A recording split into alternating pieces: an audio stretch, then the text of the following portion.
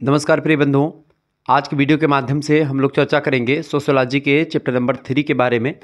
अगर आप बीए के थर्ड सेमेस्टर में हैं तो इससे पहले दो लेक्चर आप लोग देख चुके होंगे। इसका यानी कि chapter number one, chapter number two आप लोग देख चुके हैं।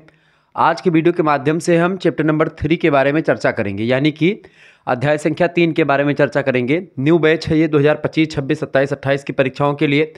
थर्ड सेमेस्टर में अगर आप हैं, यानी कि बीए के तृतीय सेमेस्टर में आप हैं सेकंड ईयर तृतीय सेमेस्टर, अभी आपने सेकंड सेमेस्टर की परीक्षा दी है। थर्ड सेमेस्टर में आप गए हैं तो थर्ड सेमेस्टर में आपको सोशियोलॉजी में एक प्रकार से सामाजिक परिवर्तन के बारे में और सामाजिक आंदोलन के बारे में पढ़ना होता है। ठीक है? तो उसके बारे में विस्तार से हम लोग जानने का प्रयास करेंगे। सामाजिक परिवर्तन और सामाजिक आंदोलन, ठीक है? सोशल चेंज एंड मूवमेंट के बारे में आपको जानना होता है। तो चैप्टर नंबर वन में हम लोगों ने क्या समझा था भाई? एक बार थोड़ा सा रिकॉल करते हैं, फिर इसके बाद में आगे बढ़ते हैं। चैप्टर नंबर वन में हम लोगों ने समझा था सामाजिक परिवर्तन की अवधारणा और प्रकृति के बारे में। इसके बाद में हम लोगों ने सामाजिक परिवर्तन के विभिन्न कारकों के बारे में समझा जननांकिकीय कारक, प्रौद्योगिकी कारक, सामाजिक परिवर्तन के सांस्कृतिक कारक, राजनीतिक कारक, मनोवैज्ञानिक, सामाजिक ऐसे अन्य तमाम प्रकार के कारकों के बारे में चर्चा करी, ठीक है? इसके बाद में हम लोगों ने मतलब अब हम लोगों को क्या पढ़ना है? सामाजिक परिवर्तन के प्रकार। सामाजिक परिवर्तन बेसिकली चार प्रकार से होते हैं, ठीक है? एक होता है आपका विकास, एक होता है उद्विकास, एक होता है क्रांति और एक होता है प्रगति। तो आज का जो वीडियो है वो उद्विकास और विकास, यानी विकास की अवधारणा और उद्विकास की अवधारणा। उद्विकास और सामाजिक परिवर्तन में क्या डिफरेंस होता है और विकास और सामाजिक परिवर्तन में क्या डिफरेंस होता है, इनको जानेंगे। विकास की अवधारणा या विकास की अर्थ, विकास की परिभाषा, विकास की एक प्रकार से विशेषताएँ। उद्विकास का अर्थ, उद्विकास की परिभाषाएँ और उद्विकास का जो एक प्रकार से मतलब विशेषताएँ होती हैं, उनको समझेंगे और उद्विकास सामाजिक परिवर्तन में क्या डिफरेंस है और विकास, यानी डेवलपमेंट को बोलते हैं, हिंदी में विकास और इवेल्यूशन को बोलते हैं हिंदी में उद्विकास। तो उद्विकास और विकास में भी काफ़ी अंतर होता है। तो ये तमाम प्रकार के मुद्दों के बारे में हम जानने का प्रयास करेंगे आज की वीडियो के माध्यम से। जो आपका चौथा चैप्टर होगा, उसमें हम लोग क्रांति और प्रगति के बारे में समझेंगे। क्रांति क्या है, प्रगति क्या है, इसके अलावा क्रांति प्रगति को समझने के बाद में हम बेसिकली क्रांति और प्रगति में क्या डिफरेंस होता है, प्रगति और उद्विकास में क्या डिफरेंस होता है या विकास और प्रगति में क्या डिफरेंस होता है, इनको भी जानने का प्रयास करेंगे, ठीक है? तो आइए अब हम चर्चा करने का प्रयास करते हैं कि ये है क्या, आखिरकार उद्विकास क्या है? उद्विकास की अवधारणा को, उद्विकास के कॉन्सेप्ट को समझने का प्रयास करते हैं। इसको आप उद्विकास बोलो या फिर सामाजिक उद्विकास भी आप इसी को कह सकते हैं। क्या कह सकते हैं आप? इसको सामाजिक उद्विकास भी कह सकते हैं। ये बात आप ध्यान रखेंगे, ठीक है? क्या कह सकते हैं भाई? इसी को आप सामाजिक उद्विकास भी कह सकते हैं, सोशल एवोल्यूशन कह सकते हैं अंग्रेज़ी में, ठीक है? चले। एक बार सभी लोग वीडियो को लाइक कर दीजिएगा और चैनल पर अगर नए हैं तो सब्सक्राइब कर दीजिएगा। क्योंकि आप लोगों के जो कमेंट्स आ रहे थे, लगातार आपकी डिमांड पर, ये लेक्चर्स लगातार यूट्यूब पर बिल्कुल फ्री में उपलब्ध करवाए जा रहे हैं। हाँ एक चीज़ है, अगर आपको पीडीएफ नोट्स इन सभी की प्राप्त करनी है, यानी जो मैं पढ़ा रहा हूँ, इसका पीडीएफ आपको लेना है तो पीडीएफ के लिए भाई आपको हिंदी वाला कोर्स लेना पड़ेगा।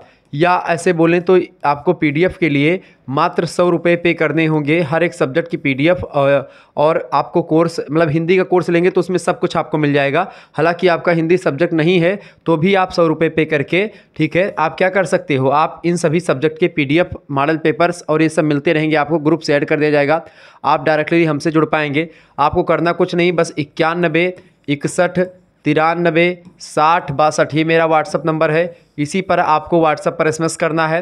ठीक है कि सर जी, हमको पीडीएफ नोट चाहिए या हमको कोर्स चाहिए बीए थर्ड सेमेस्टर का। ठीक है? आपका कोई भी सब्जेक्ट होगा तो अधिकतर सब्जेक्ट में पढ़ाते हैं तो उसमें कवर हो जाएँगे। तीन सब्जेक्ट आपके मेजर होते हैं, एक माइनर होता है, एक को करिकुलर होता है। तो को करिकुलर का तो मैं पढ़ाता ही हूँ माइनर का भी आपका और मेजर का भी, सब पढ़ाते हैं। तो कोई दिक्कत नहीं है। हाँ एक आध सब्जेक्ट जैसे कुछ जो एक मतलब जैसे कि फाइन आर्ट वगैरह हो गए या कुछ म्यूज़िक वगैरह वाले सब्जेक्ट हो गए, उन सभी को नहीं पढ़ाते हैं। बाकी सारे सब्जेक्ट जो सामान्य सब्जेक्ट हैं खास करके बी के, वो सब पढ़ाते हैं। तो मात्र सौ रुपये में आपको सारी चीज़ें मिल जाएँगी। तो अगर आपको कोर्स लेना है या आपको पी प्राप्त करनी है, हमसे आपको डायरेक्टली जुड़ना है, ठीक है? हमारे ग्रुप से जुड़ना है तो आप मात्र सौ रुपये पे करके जुड़ सकते हैं। इस नंबर पर आपको पे नहीं करना है। उसके जब आप एसएमएस करेंगे, उसके बाद मैं आपके पास एक स्कैनर सेंड करूँगा, वहाँ पर आपको पे करने होंगे। ये बात आप ध्यान रखेंगे। तो जल्दी से जल्दी आप कोर्स ज्वाइन कर लें, ठीक है? इक्यानबे, इकसठ तिरानवे साठ, बासठ पर करके। अब आइए जानने का प्रयास करते हैं। शाब्दिक रूप से किसी वस्तु के फैलने, कोई वस्तु है अगर वो फैल रही है या कोई वस्तु जो बढ़ रही है, यानी कि किसी वस्तु के फैलने और बढ़ने की जो प्रवृत्ति होती है, यानी कि किसी वस्तु के, जैसे कोई भी वस्तु है तो जो बढ़ रही है, फैल रही है तो उसी बढ़ने और फैलने की जो प्रवृत्ति होती है, उसी को उद्विकास कह सकते हैं। अगर सामान्य तौर पर देखें या शाब्दिक अर्थ पर जाए एवोल्यूशन का मतलब सीधा सीधा फैलाव या बढ़ने से होता है। किसी वस्तु की प्रवृत्ति में बदलाव होना, फैलाव होना, बढ़ना, ठीक है? वो एक प्रकार से एवोल्यूशन कहा जाता है। ये इसका शाब्दिक अर्थ हुआ। शाब्दिक अर्थ मतलब क्या होता है? अगर शाब्दिक शाब्दिक अर्थ मतलब कि पर्टिकुलर शब्द के बारे में अगर हम अध्ययन करें, या शाब्दिक अर्थ देखें, यानी कि शब्दों को तोड़ फोड़ करके उसका अर्थ निकालें तो ये अर्थ निकलेगा। यद्यपि प्रत्येक वस्तु का बढ़ना या फैलना उद्विकास नहीं होता है। अगर मान लेते हैं, अभी मैं बताऊँ तो ये जैसे पेन है, अभी पेन बढ़ने लगे तो इसका उद्विकास थोड़ी ना होगा। उद्विकास एक निश्चित चीज़ों में होता है और पर्टिकुलर चीज़ों में होता है, ठीक है? उदाहरण के लिए जैसे मैं कहूँ, मिट्टी के बढ़ते हुए ढेर को विकास आप नहीं कहेंगे। मिट्टी का ढेर है, एक टाली माटी गिराया दो टाली माटी गिरा जाए, तीन टाली तो धीरे धीरे उसका ढेर मिट्टी का बढ़ता जाएगा। तो क्या हम इसको उद्विकास कहेंगे? बिल्कुल नहीं कहेंगे। यानी कि हम मिट्टी के ढेर को उद्विकास नहीं कहेंगे। उद्विकास किसको कहेंगे? उद्विकास वास्तव में, उद्विकास का संबंध उस फैलाव से है या उस एक प्रकार से बढ़ने से है, जिसमें कोई भी वस्तु सरल अवस्था से जटिल अवस्था में आ जाती है। सरल अवस्था क्या होती है? जैसे कि आदिमानव थे। आदिमानव की अवस्था कैसी थी? सरल अवस्था थी। उनको किसकी आवश्यकता थी? रोटी, कपड़ा, मकान। यानी कि खाने के लिए कुछ मिल जाए, रहने के लिए कोई छाँव मिल जाए और पहनने के लिए कुछ मिल जाए। तो उनकी सामान्य आवश्यकताएँ थी बस। ज़्यादा नीड्स नहीं थी कि हमको ब्याह करना है या फिर एक प्रकार से डीजे बंधवाना है, ब्याह में मोटरसाइकिल खरीदनी है, चार चक्का लेना है, एसी लगवाना है घर में, ठीक है? ये करना है। तीन दुनिया भर का उनका लफड़ा नहीं होता था। आजकल क्या दुनिया भर के लफड़े हैं हर एक चीज़ में तो कहीं ना कहीं पे हम लोगों की आवश्यकताएँ लगातार बढ़ी हैं। तो उद्विकास ऐसे ही हुआ है क्योंकि हम सरल मानव थे पहले, बस हमको कोई टेंशन नहीं होती थी। आजकल तो भाई कितने भी पैसे हो जाएँ तो आपके सारे पैसे कम ही पड़ने लगते हैं क्योंकि जीवन की इतनी आवश्यकताएँ हैं कि उन आवश्यकताओं की पूर्ति हो ही नहीं पाती है किसी तरीके से।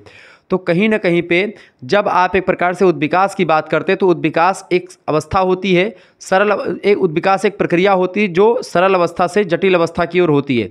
प्राचीन समाज का जो मनुष्य था, वो सरल था, उनका समाज सरल था, और आज का समाज कैसा जटिल समाज है, यानी किसी समाज का सरलता से जटिलता की ओर प्रवाह ही उद्विकास कहा जा सकता है। अगर मैं अपने शब्दों में बताऊँ तो तो जिसमें कोई वस्तु सरल अवस्था से ठीक है, जटिल अवस्था में, कठिन अवस्था में जाती है। उद्विकास को हम निम्न सूत्र के द्वारा प्रकट कर सकते हैं। निम्नतर परिवर्तन देखें सबसे पहली बात सूत्र क्या होगा? देखें सूत्र ये है, निम्नतर परिवर्तन प्लस निश्चित दिशा। एक निश्चित दिशा में पहले धीरे धीरे परिवर्तन होगा, एक निश्चित दिशा में परिवर्तन होगा। गुणात्मक अंतर प्लस में करेंगे। इसके अलावा ढांचे का कार्य और भिन्नता धीरे धीरे एक प्रकार से आपको अलग लगने लगेगी।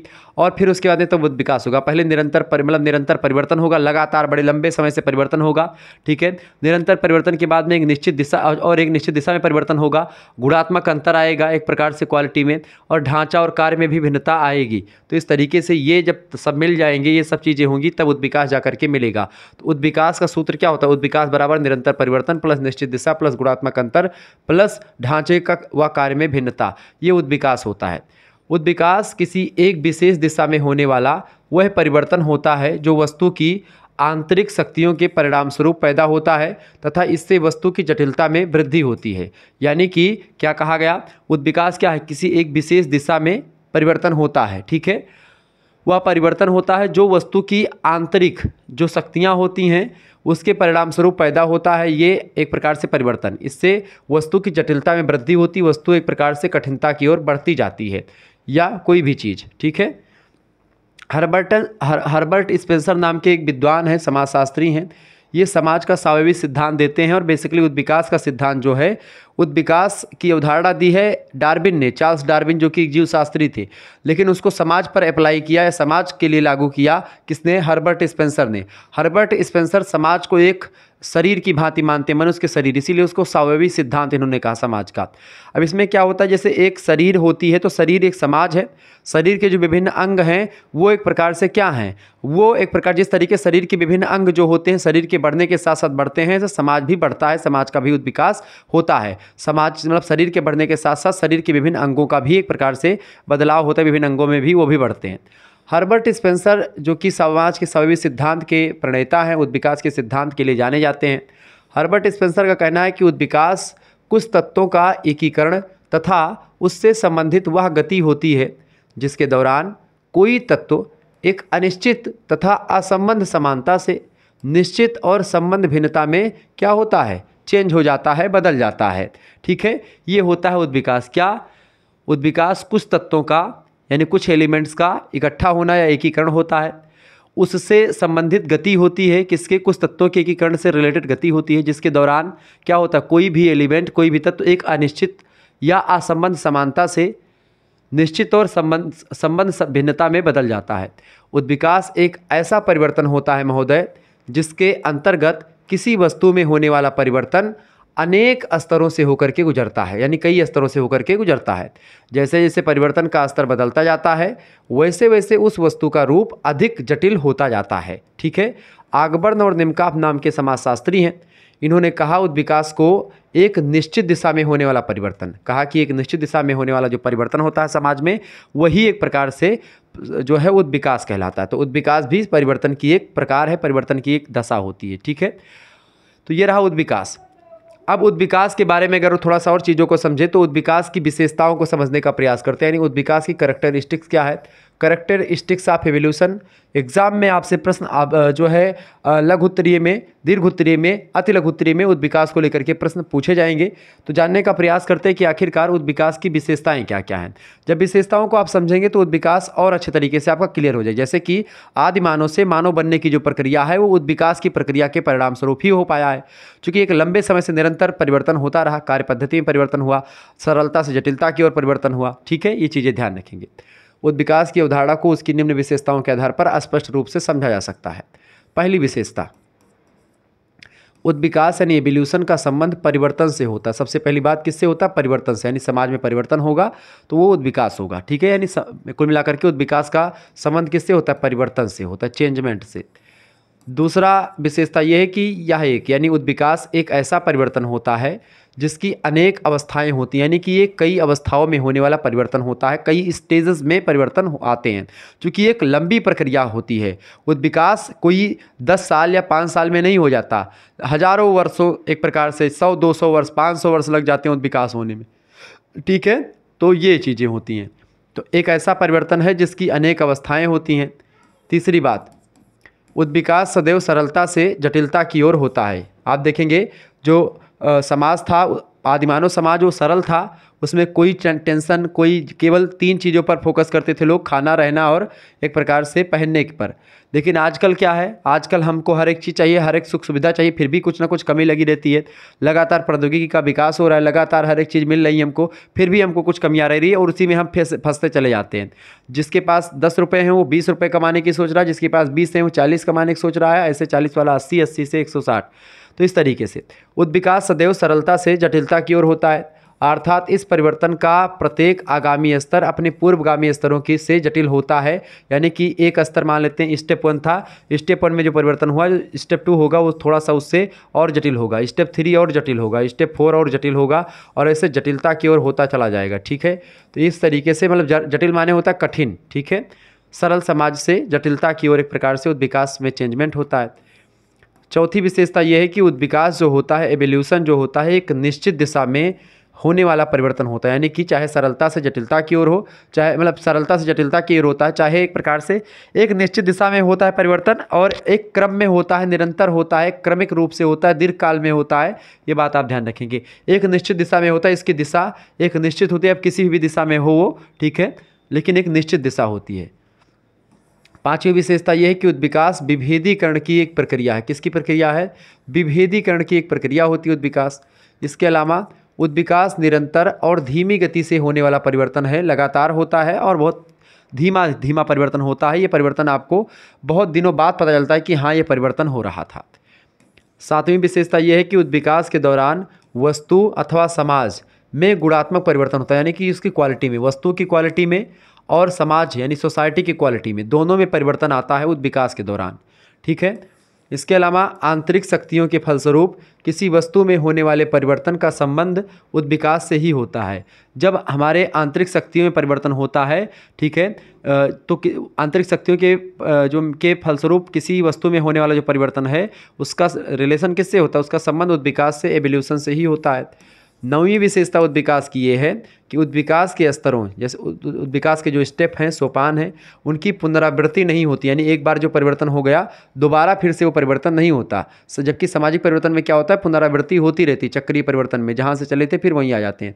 लेकिन उद्विकास, जैसे मनुष्य जब आदिमानव था तो क्या फिर से मनुष्य आदिमानव होगा? नहीं होगा। मनुष्य अब और अच्छे तरीके से बढ़ता चला जाएगा। ठीक है? ये बात ध्यान रखेंगे। दसवीं विशेषता यह है कि भिन्नता इसकी प्रमुख विशेषता यानी कि भिन्नता अलग, अलगाव या भिन्नता जो होती है अलग अलग चीज़ें इसमें बदल जाती हैं, चीज़ें क्वालिटी में चेंजमेंट हो जाता है। तो वो एक विशेषता इसकी रही। इससे पहले का मानव कैसा था और आज का मानव कैसा है, आप देखें भिन्नता बहुत ज़्यादा है। तो कहीं ना कहीं पर ये रहा एक प्रकार से उद्विकास के बारे में कुछ बातें जो मैंने आपको बताया। अब उद्विकास और सामाजिक परिवर्तन, ये दो टर्म्स अलग अलग होते हैं। सामाजिक परिवर्तन की एक, का एक प्रकार है उद्विकास, ठीक है? समझ लेते हैं दोनों का मतलब क्या है, सामाजिक परिवर्तन क्या होता है और सामाजिक उद्विकास क्या होता है? क्योंकि सामाजिक उद्विकास भी एक प्रकार का सामाजिक परिवर्तन ही है, ठीक है? सामाजिक परिवर्तन का एक प्रकार है सामाजिक उद्विकास, समझते हैं। सामाजिक परिवर्तन और सामाजिक उद्विकास में अंतर, ये प्रश्न लघु उत्तरीय में कई विश्वविद्यालय में पिछले वर्ष पूछा गया था, इसीलिए मैंने इसको एक प्रकार से यहाँ पर रखा। देखिए, सामाजिक परिवर्तन और सामाजिक उद्विकास, यानी social development and social evolution की प्रकृति के विवेचन से यह स्पष्ट हो जाता है कि ये दोनों पृथक अवधारणाएँ हैं। पृथक मतलब अलग अवधारणाएँ हैं। सामाजिक परिवर्तन के द्वारा हमें अच्छाई, बुराई अथवा किसी दिशा में परिवर्तन के गुण व मात्रा आदि का बोध नहीं होता। सामाजिक परिवर्तन के द्वारा क्या होता है? हमको ये नहीं पता चलता कि ये हमारे लिए अच्छा होगा कि बुरा होगा। परिवर्तन जो हो रहा है समाज में अच्छा होगा कि बुरा होगा। किसी दिशा, किस दिशा में होगा, परिवर्तन का गुण और मात्रा या कितनी मात्रा में परिवर्तन होगा, किस क्वालिटी में चेंजमेंट होगा, सामाजिक परिवर्तन में ये हमको पता नहीं होता है। यानी इसका बोध हमको, बोध माने ज्ञान, इसका ज्ञान नहीं होता कि परिवर्तन कितनी मात्रा में होगा, परिवर्तन की क्वालिटी में क्या चेंजमेंट होगा, परिवर्तन की दिशा कैसी होगी, धीमी होगी, तेज होगी, परिवर्तन अच्छा होगा हमारे लिए, बुरा होगा, इसकी परिपरवाह नहीं होती या इसके बारे में हमको पता नहीं चलता सामाजिक परिवर्तन में। लेकिन उद्विकास में पता रहता है, ठीक है? जबकि उद्विकास एक ऐसा परिवर्तन है जिसमें दिशा एक निश्चित दिशा में परिवर्तन होता है, एक क्रम में निरंतर परिवर्तन होता है क्वालिटी में चेंजमेंट होता है क्वालिटी में इंक्रीज होता है क्वालिटी बढ़ती है तो ये सब निश्चित होते हैं कि क्वालिटी कैसी होगी, क्रम, दिशा सब कुछ फिक्स होता है मतलब निश्चित निश्चित होता है। वैसे तो विकास सामाजिक परिवर्तन का ही एक भाग है और दोनों का ही संबंध समाज में घटित होने वाले परिवर्तनों से होता है। समाज में जो भी परिवर्तन घटित होता है, उसको सामाजिक उद्विकास की श्रेणी में भी लाएँ तो हो सकते हैं और सामाजिक परिवर्तन की श्रेणी में रखें तो भी वो एक प्रकार से हो सकते हैं। सामाजिक परिवर्तन और सामाजिक उद्विकास, यानी social development and social evolution के बीच अंतरों को हम निम्न प्रकार से प्रकट कर सकते हैं। इसमें कई अंतर है। आइए कुछ अंतर पर हम लोग फोकस करने का प्रयास करते हैं। कैमरामैन फोकस करो। ये रील बड़ी फ़ेमस हुई थी, कैमरामैन फोकस करो वाली। तो फोकस करिए भैया, चले। पहला अंतर ये है, सामाजिक उद्विकास जो होता है, एक निश्चित दिशा में होने वाला परिवर्तन है। सबसे पहले समझे, एक निश्चित दिशा में परिवर्तन होता है सामाजिक उद्विकास। जो होता है, एक निश्चित दिशा में होने वाला परिवर्तन होता है। ये बात आप ध्यान रखेंगे, ठीक है?